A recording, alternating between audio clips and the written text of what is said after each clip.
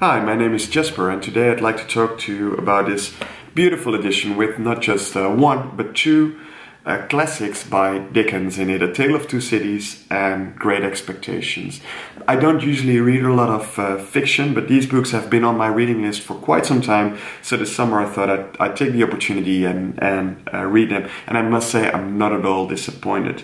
Um, a Tale of Two Cities, the first of the two books in this, this cover, of course, is the um, one of the few historic works of historical fiction of Dickens, which gets a lot of reference in the non-fiction I uh, usually read. And although I must say it's not as fact-based or as, as um, uh, educational as, for instance, Hilary Mantel's a, a, great, a Place of Greater Safety, it does get the feeling across of living under a reign of terror quite exceptionally well. Um, and I don't think given the current situation in the world, that is a bad thing to read. Uh, very daunting, almost scary book. The second book in this uh, in this beautiful edition, uh, great great expectations. I, frankly speaking, expected uh, much less of.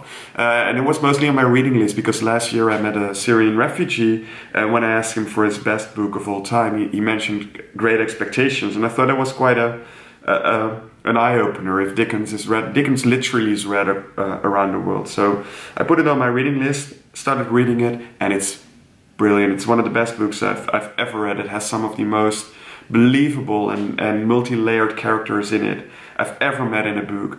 And for somebody grown up in a in a uh, Netflix world or growing up in a Netflix world and mostly reading non-fiction, it's a surprisingly easy book to read. The plot just pulls you in every time.